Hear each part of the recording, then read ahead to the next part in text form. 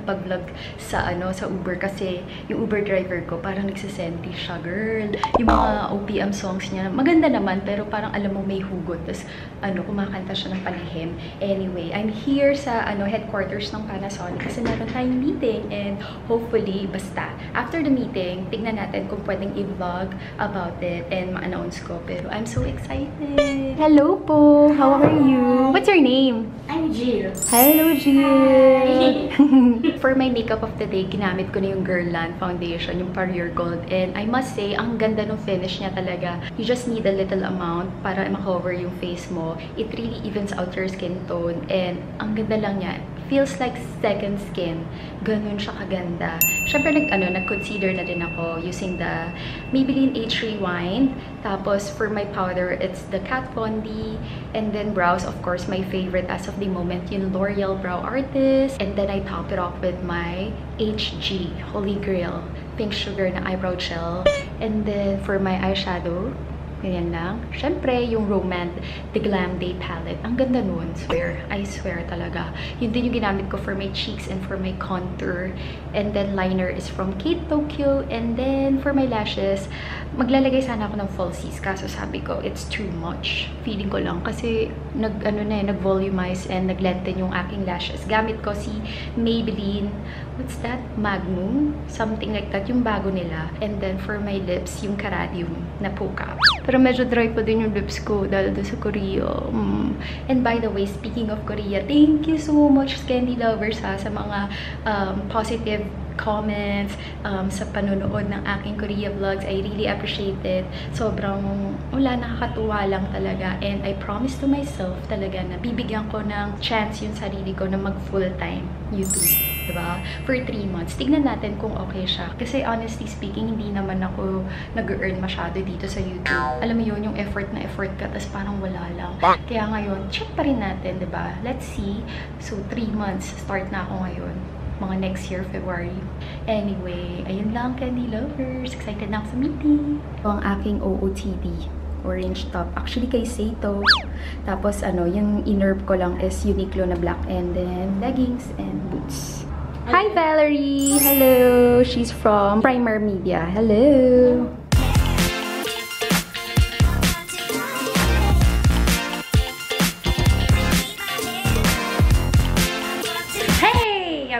My studio. Namiss ko sabihin yung I'm back in my studio, Candy Lovers. Grabe. Ayun nga, kanina pa actually ako nakabalik dito. Kaso, sa sobrang gutom ko ba, kumain na muna ako. Hindi ko kaya talaga, girl, hindi kumain. Kasi bala ko din umuwi bukas ng maaga sa bahay namin para makapag-edit. O, ba diba? Consistent na si Inday Candy. Look at this. Ding, ding. Yes, yes, yes! Excited na ako gamitin yung Panasonic blower tsaka yung kanilang straightener kasi alam nyo, ever since talaga, gustong gusto ko na talaga sila matry kasi sabi ko sobrang mahal. Parang 6,000, 7,000. Nakakaloka, ba diba? So sabi ko, di bale, pag-iipunan ko na lang. At talaga nagdrama eh, pag-iipunan ko na lang. Tapos biglang opportunity knocks, tok, tok, nakakatuwa, nakakataba ng puso. Kaya maraming salamat Panasonic for trusting me again. Collaborate with you and host a giveaway. Yes! May giveaway tayo candy lovers. Kaya be sure to stay tuned on my YouTube channel kasi dun ko i-host yung giveaway. And di ba lagi na lang tayo nagpapag-giveaway sa Instagram. Might as well YouTube naman para di ba mas bongga. And para naman mag-subscribe kayo kasi hindi na umangat yung subbies ko. Hindi, joke lang ha. Sabihin nyo eh pala. Alam nyo ba ngayon lang uli ako nakabalik dito sa studio kaya may mga packages na naipon sa baba. Papakita ko sa inyo kung ano yung mga packages na dumating. Siyempre, ganun naman. Ayoko kasi nung may ipon yung packages tapos gagawa tayo ng PR haul. Parang, uh, maganda siya kaso parang time consuming. Time consuming. Magsi 6 o'clock na, pupunta tayo sa event ni Aquafina kasi may natin si Pia Words back. Anyway, date lang dito sa aking Girland Foundation. Hindi naman ako ganun nag-oil up. Yung pwede ka nang magluto sa mukha ko. Hindi naman. Pero I really like it. Parang kahit na mag-oil siya, parang healthy glow yung dating niya. Thumbs up sa akin si Girland. So before ako umalis, mag-retouch lang ako ng konti and then babalikan ko na lang kayo later. Bye!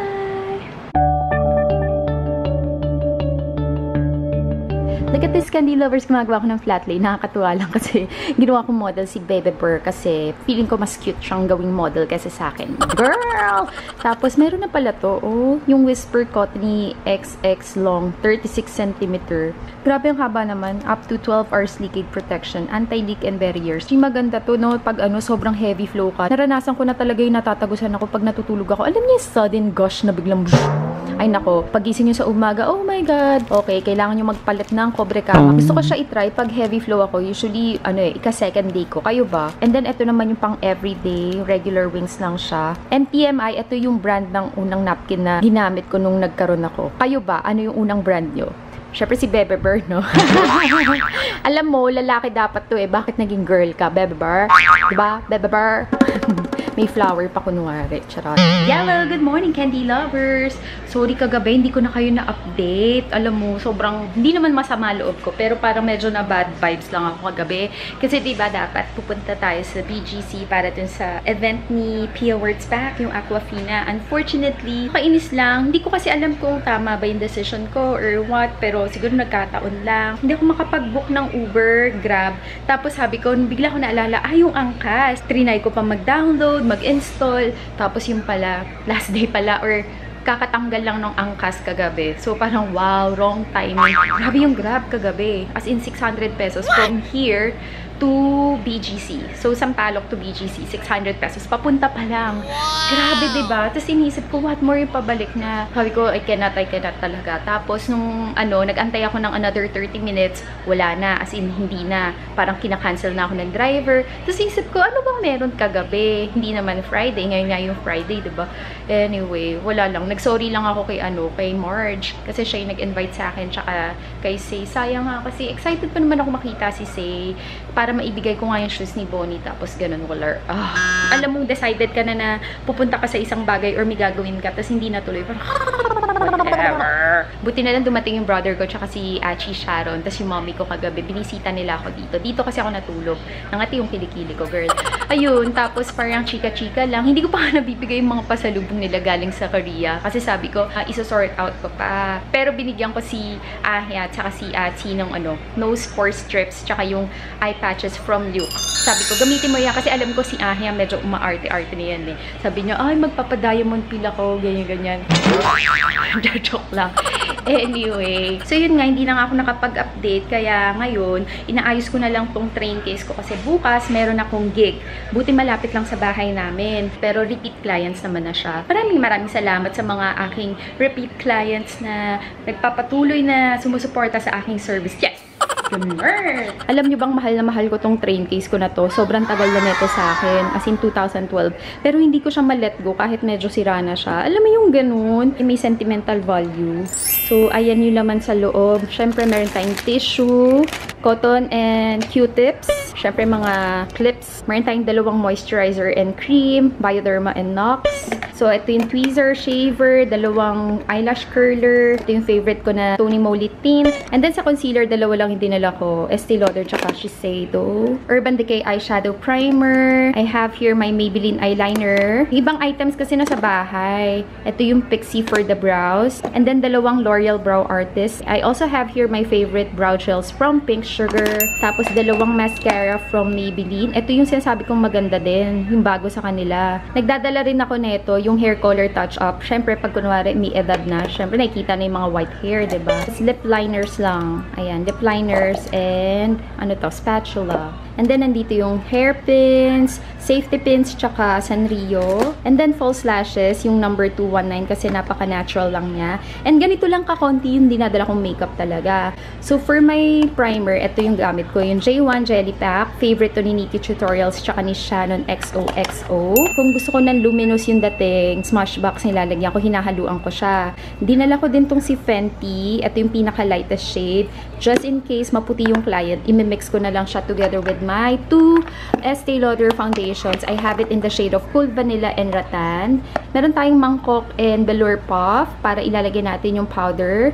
Ito ay from Meron and this one is from Etude House. And then natuwa ako dito kasi ba nawala yung metal o mixing plate. Ewan ko may kumuha, kakaloka. Minsan talaga, ewan, ayoko na lang magsalita. And then for contour, I have my Kat Von D Shade and Light. For eyeshadow palette, I have my Modern Renaissance and Lorac Pro. Blush is from NARS. And then, yung dalawang highlighter from JCat, Beauty You Glow Girl Bake Highlighter, Twilight, and Moonlight. And yeah, that's it. Ganyan lang kakonti yung dinadala ko pag may client ako. Tapos, ito yung brushes ko. Dito ko siya nilalagay. Konti lang din yung brushes na dinadala ko. Ito yung gagamitin kong um, flat iron, yung sa Panasonic Nano E.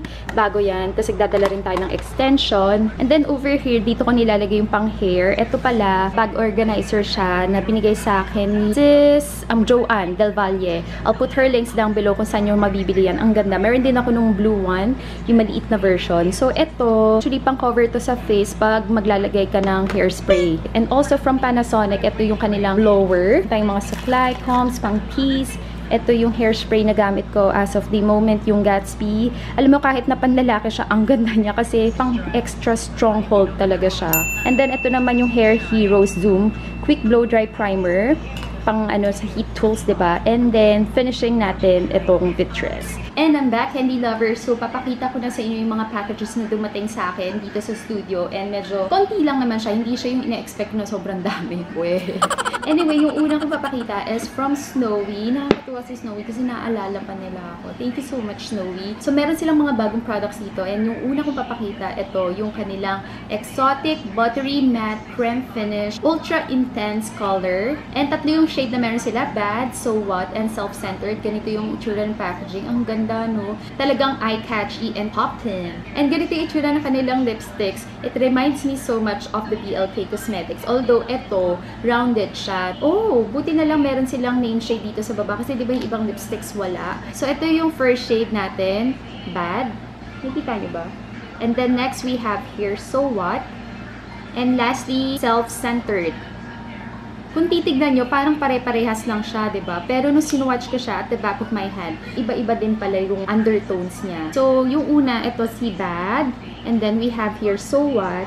And then, ito naman si Self-Centered. Ganito kadami yung lipstick na meron sila. Alam mo yung parang butter popcorn. Ganun yung amoy, buttered caramel popcorn. Kaya pala siya tinawag na butter matte creme finish. And yung next sa bagong products from Snowy, ito yung pangkilay nila. What's Up Brow, Eyebrow Embroidery. Real hair effect, highly pigmented, water resistant, and 24 hours.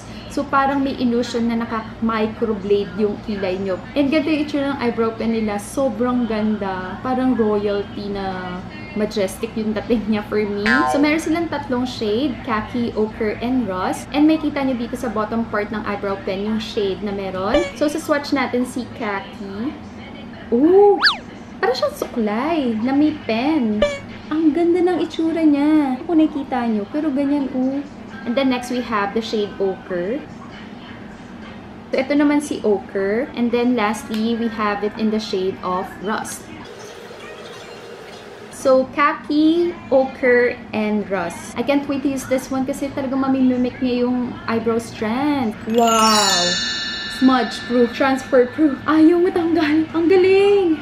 Amazing. And then yung next package na dumating is from the brand Shawil. And alam nyo ba na makikipag-collaborate sa akin si Shawil? Kaya stay tuned for our giveaway! So, marami-rami itong papakita ko sa inyo from Shawil. Ito yung kanilang Collagen Blemish Balm. Hindi ko pa natatry lahat ng products dito from Shawil. And then next we have here the Porcelain Powder Smooth White Foundation. Shade is 01. Yun lang yung problema kay Shawil. Wala siyang name shade. Puro number. Ang ganda ng packaging ng powder nila. Para siyang cushion. Yung dating niya. Tapos yan. Ganun. Then we have here the Terracotta Blusher. Shade is number 1. Next is the two-way eyebrow cake. Number 1 yung shade niya. And dalawang powder yung meron dito sa eyebrow cake nila. Ito naman yung 5-color Makeup Professional eyeshadow palette nila. Have it in the shade of O2. Ah, more on parang purples and plums. Ganyan. And, ooh, meron tayong Pro Conceal HD Definition Concealer. Tatlong piraso ng shade number 1. So, yung dalawa dito, syempre, pag-giveaway na natin yan. Yung packaging niya, para talagang LA colors, no? Next, we have here the Shawil Curling Mascara. Ooh, ito ba yung favorite ko? Ay, ito nga yung favorite mascara ko from them. Yay! Meron na akong backup. Waterproof, long-lasting, quick-dry. Eyeliner. Oh, ganito yung itsura ng eyeliner niya. Ah, brush tip. Very fine. Dito, ang nipis ng line. Ang ganda. Last two items from Shawil. Ito yung kanilang Stay Flawless Perfect Primer. Kamukha niya yung packaging ni Benefit. And ganyan yung itsura niya. And lastly, we have here the Cushion Caress. Yung packaging naman nito, it reminds me of the L'Oreal. And I have it in the shade of number 1. And ganyan siya. Cushion siya, pero parang, wow! Very pigmented. Grabe. Parang siyang powder cushion yung dating niya. Try nga natin. feels very lightweight. Parang wala kang nilagay sa lips nyo. And matte siya.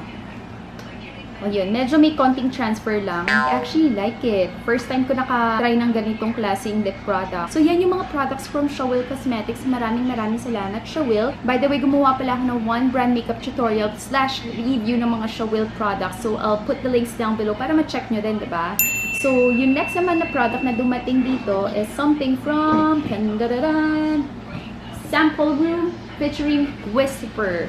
Medyo malaki yung box pero konti lang yung laman sa loob. Yan, tsura niya. Ah! Whisper Cottony Clean up to 12 hours leakage protection dermacare lotion. Cottony XX long 36 cm. Yan. Ito bagay siya for pag matutulog na kayo, heavy flow. Ito for everyday. Meron tayong eye mask pag matutulog na tayo.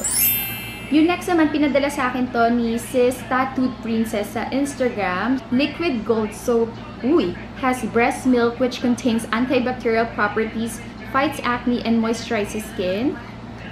Yan. Foxy Lash and Brow Booster. Thank you so much, sis, Tattooed Princess. Yung next naman from L'Oreal. Ayan, makintab na makintab ang bag ni L'Oreal. World's number one hair color, ang L'Oreal Excellence Fashion Ultralight, Ultralight Natural Brown. And meron din tayong pouch, best hair care ever cute. So, sa loob, uy, bago to ah. Everpure sulfate-free color care system. Rosemary yung kanyang scent siguro. Moisture shampoo and conditioner. Wow! 100% vegan daw to kasi paraben-free. Thank you so much, L'Oreal, for sending your items. And then lastly, we have here from Paris!